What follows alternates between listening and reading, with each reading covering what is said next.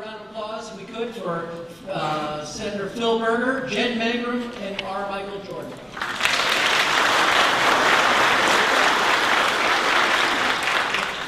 We have two questions for each of you, and then you'll each have an opportunity for a closing statement.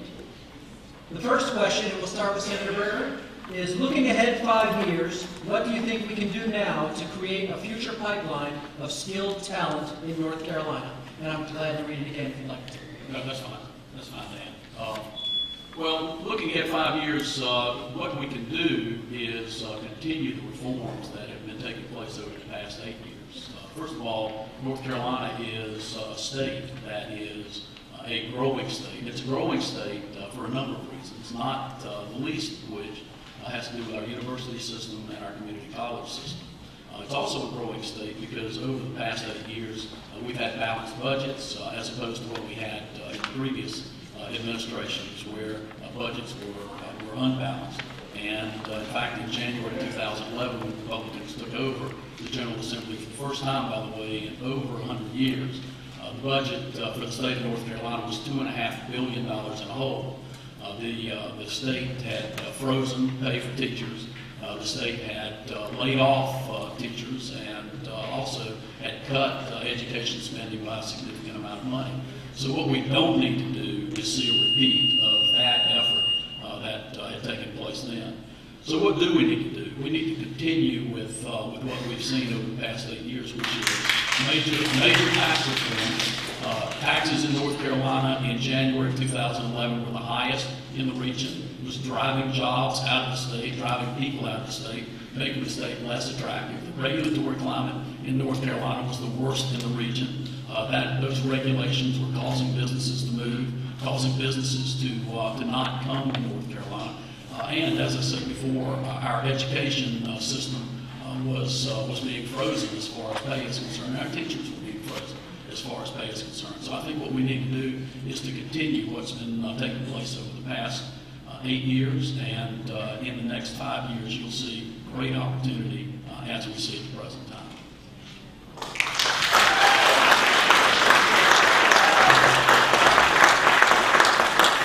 Mr. Jordan, same question. And I- I'll read it again if you'd like to. Please. Looking ahead five years, what do you think we can do now to create a future pipeline of skilled talent in North Carolina? I think we need to do away with a lot of standardized testing. I think teachers are stuck teaching tests instead of students.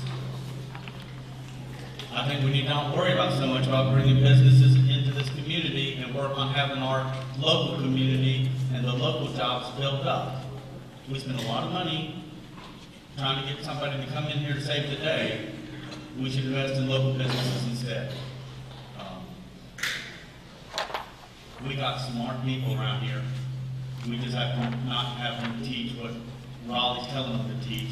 We need to let teachers around here instruct them. That's it. Very good, thank you. Ms. Mangrum, same question, would you like me to read it again? I think I have it. Very good. Um, so I'm a teacher. I've been in public education for 31 years. So I know a little bit about this pipeline to being talented and skilled and ready to, ready to work. I really appreciated what Michael said because testing has taken over schools. And our children are all very different.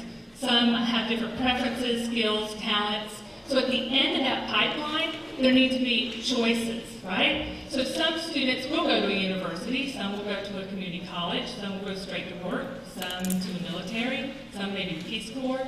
And in order to prepare them for that, teachers, parents, families, we're responsible for getting them ready. Um, and how, how we do that, we need to invest in education. We need to invest in birth through 12th grade, invest in community colleges, and in the universities. And what's been stopping us is our current leadership. Because of our current leadership, teachers are underpaid, they're ignored when 20,000 show up at the legislative building, they feel like they are not valued or respected. Thank you. You're fine, you can keep going. Okay. Um, and so what I would do is I would support those teachers and those students so that they come out skilled, which will bring business and opportunity. We have lots of teachers in the audience, a lot of them. And I want to recognize uh, Nashonda Cooke, who was on the cover of Time Magazine, and she's over there in the corner. She's from Raleigh. Thank you, Nashonda. That says respect to me. That says, Time Magazine said, North Carolina, why are your teachers unhappy? I know they're unhappy. And I know that we can do a lot of things to make it better. And so if I, um, or when I win, uh, what I really want to do is fund education, again, birth to 12, build up our community colleges and our universities, which, by the way, are magnificent, but have been cut and cut and cut. And I'm, I work in a university, and I know that. Um, we are not the state we used to be in terms of education, not at all, and we need to change that.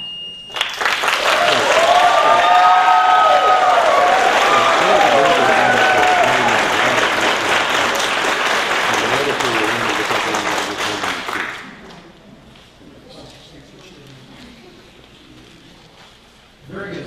Thank you. Uh, If it's okay, I'd like to start with you this time, Ms. Mangrum. Very good. Uh, The first, the next question is, what will you do to deepen the relationship between Rockingham County and the Dr- General Assembly, especially concerning issues such as the I-785 and the 140 water issue? Could could you read it again? That's a long one. That is a long one. What will you do to deepen the relationship between Rockingham County and the General Assembly, especially concerning issues such as I-785 and the 140 water issue? Thank you. Um, all of you and I have been in Senator Berger's district for 18 years. He has represented me for 18 years, nine terms. And what have we gotten in our 18 years? We've gotten Miller Brewing that walked out. Ball Corporation walked out. We have 39,000 tons of coal ash in our river. We, we don't have Medicaid, which not only would give more people access to health care, it would also lower premiums for people. It would bring health care to people who need it. I have a young man who's working with me, works part-time uh, as a freelance and also teaches his daughter. His wife is a, a dental hygienist and they can't afford health care, and that's not right. Um, I'm ready for change. I don't know about you. But in order for us to build um, a relationship between Rockingham County and the General Assembly, we need someone who likes people, who wants to connect with people, all people, Republicans, Democrats, unaffiliated, and we need to say, we need to work together, because North Carolina needs to serve all people, and we can do it. We can organize ourselves so that it's a win-win. Doesn't matter, a win-win-win with our libertarian here. Um, I think you want a better relationship with the General Assembly, and I happen to know that uh, according to a poll we did, 45% of people are not happy with Raleigh. Dis- they disapprove of what's going on. 45%, and a big percent didn't even know what was going on, so I don't know where they've been. Um, but if you want change, you have to send someone new. If you want change, you need new ideas. Oh, and I was looking at the program. If you look at my word cloud and Senator Berger's word cloud, that says how we differ. And I think that you need someone like me with compassion and common sense in the General Assembly.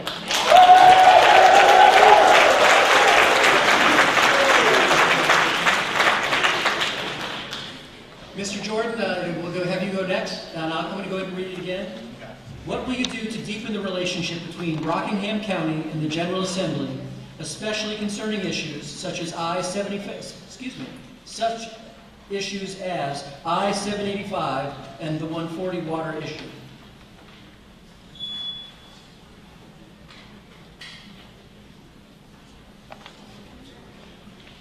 Everybody here, for the most part, is either a red or a blue, and there's like a couple yellows right there.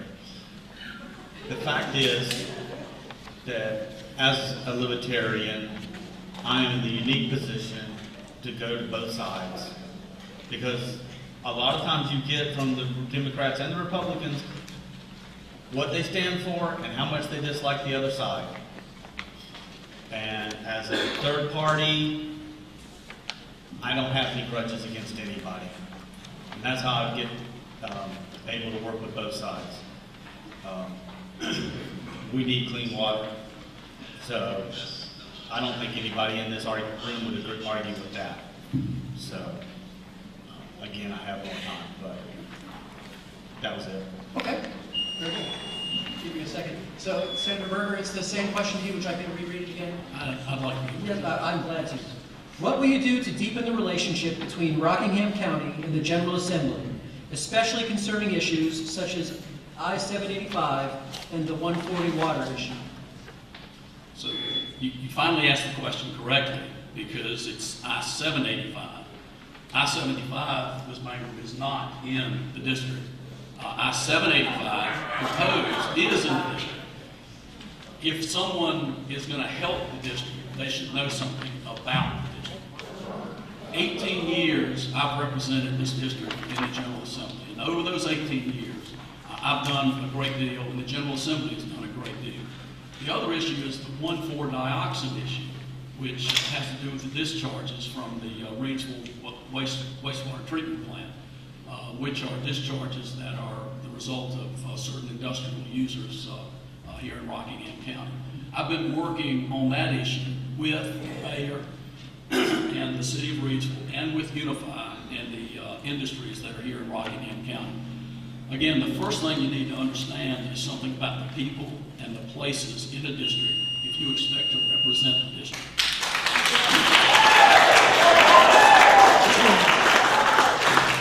Now, uh, the other thing that uh, I would like to point out is there is a big issue about I-785. There's also an issue about I-74 in the western part of Rockingham County. US 220 needs to be upgraded to interstate standards so that we have an interstate that gets us all the way to the airport. I-785 needs to be upgraded to interstate standards so that we have an interstate in the eastern part of Rockingham County that will allow our commerce uh, to, uh, to get through Rockingham County, but to and from Rockingham County as well. Uh, Both of those projects are well on the way, primarily because of the work that uh, Republicans have been doing in the General Assembly to get the budget straightened out, because you can't spend money on anything if you run a deficit.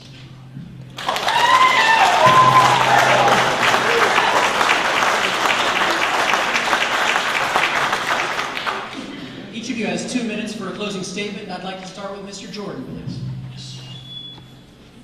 Well, I haven't used two minutes yet, so. We'll appreciate that at 11 o'clock tonight. Yeah, but will y'all appreciate it enough to give me a vote? Um, Someone once told me, if you're gonna complain about something, try to do something about it. And sometimes I look at an issue and I say, well, that just doesn't seem nice, or that doesn't seem right, or, um, there seems to be a lot of anger between the Republicans and the Democrats, and I just want a system that works. And I'll, I know the Republican faithful are gonna show up and vote for Senator Berger. And the Democratic faithful are gonna show up and vote for Dr. Mangrum. And there's a lot of people out there that don't feel like they belong in either one of those camps. And, um, I was just trying to give them a voice. So, uh, I said, why not? And, um, through my having the ring. Oh my gosh, I got through a whole thing. So I want to thank y'all for letting me sta- sit up here and at least talk to y'all. And uh, I'm not a politician. I'm not a doctor. I'm not a lawyer. I'm not an Indian chief. You know, I'm just a regular guy that said, I'm tired of this. And I know I don't know everything about what's going on, but I'm trying to learn as fast as I can. Thank y'all.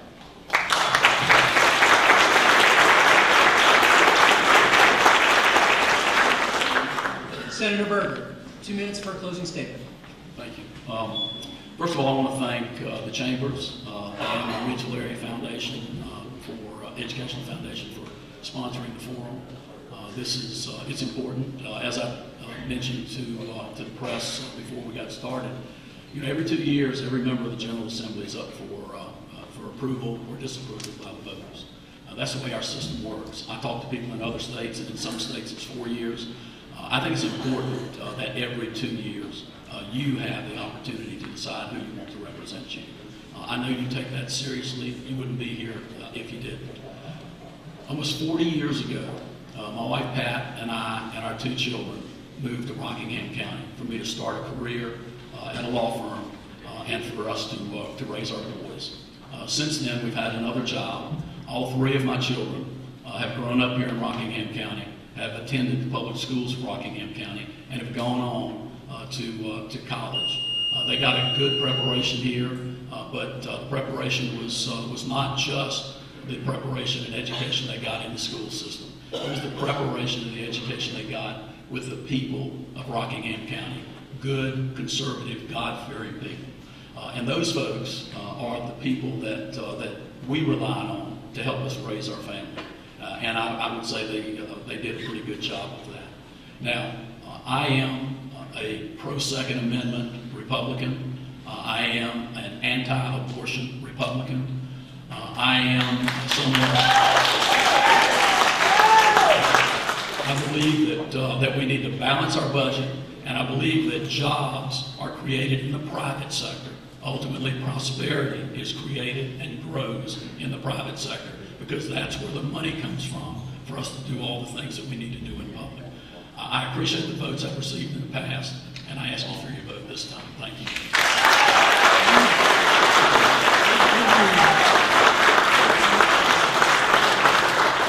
Ms. Mangrum, two minutes for a closing statement. Thank you. I am a native North Carolinian. I have lived in North Carolina my entire life, and I have lived in this district my, uh, for the past 18 years. And so when he talks about Rockingham County, I love it. It's my home. I think I've made more connections in the last you know, eight months since I've been here than he's made his entire time. So I'm a native North Carolinian. My father was a Marine. Uh, I grew up in Jacksonville, North Carolina, and was recently under, um, done all the flooding. Uh, my father, after he got, he fought in World War II, Korea, Vietnam twice. When he got out, he got his GED. He went to Coastal Carolina Community College, and then he went to UNCW and got an elementary education degree and taught fourth grade. Sergeant Robinson taught fourth grade. My mom was from England. She came, she met my dad in Norway. She came here, uh, took her art degree, and she got an, um, an elementary education degree as well. And she became a kindergarten teacher. My father chose to teach at a school that was high in poverty and on the other side of the tracks. And he showed me that you fight for your country, you fight for your state, you fight for your district, you do what's right for people because people matter. My mother in kindergarten had a child with cerebral palsy. His name was Buddy. And they didn't want him in the school because of all the extra things that he would need. My mom fought for Buddy because she believed that everybody deserved opportunity. Buddy became a pediatrician. So Buddy needed that opportunity and he blossomed. I love this district. I love these people. I know that I can represent you because you know what? We're more than Rockingham County. We're North Carolina, but we're also Caswell County, Stokes County, a big chunk of Surry. And we've got beautiful resources across the entire district. I want to help you use those natural resources and those cultural arts and that history to bring in new small business, to bring in uh, new opportunities. And everybody here deserves that. Thank you.